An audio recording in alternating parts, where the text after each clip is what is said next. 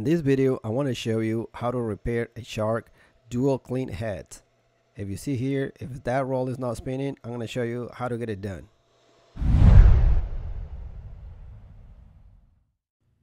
Those are all the screws that need to be removed in order to open the lid. The one at the very bottom needs to remove the little wheel.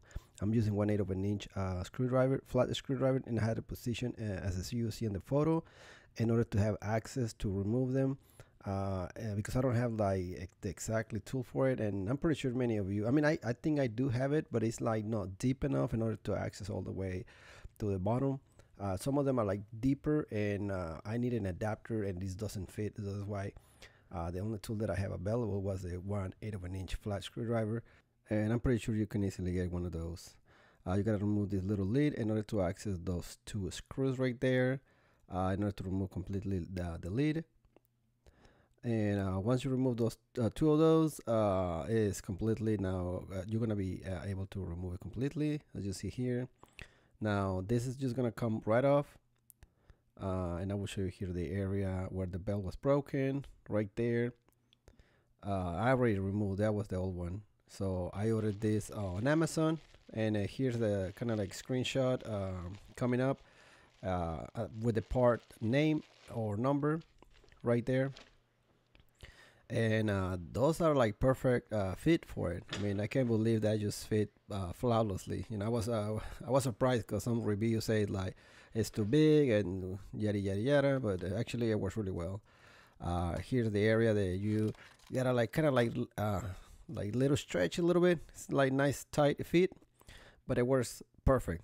Like once you like put a nice snug in there, you do the reverse process you put everything back make sure all the cables are still fine and uh, once you position everything it takes sometimes little wiggle you know wiggling a little bit here and there.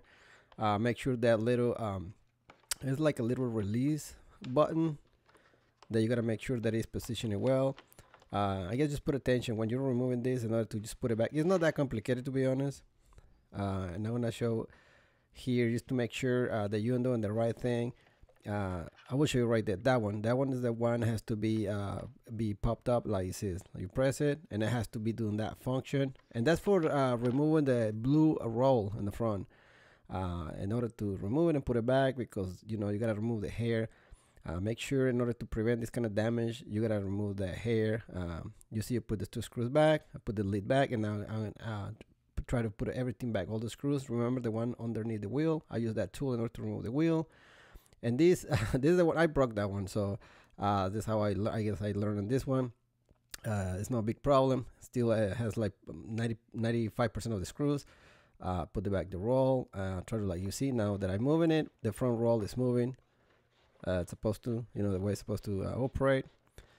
And I guess I'm gonna like finalize uh, finish everything on the screws and uh, make sure that I everything is nice and tight. And that's that's what I he showed like one eighth of an inch uh, flat a screwdriver in order to uh, uh, open.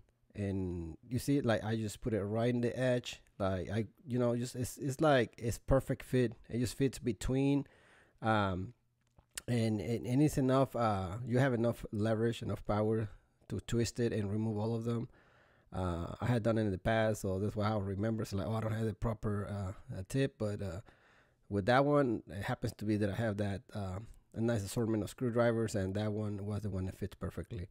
And if this video has been helpful, uh, you can share it um, with someone else. They can you can help them out how to resolve this issue. Instead, like throw it away your vacuum that you're good working vacuum you know this happened when sometimes get like stuck in something. If you if you break the belt and i know my wife said i can't use this. I need i need this uh, to be working uh, properly. And i was like either way you fix it or buy a new one. And was like wait wait wait. I can i, I can i can take care of this. Don't worry.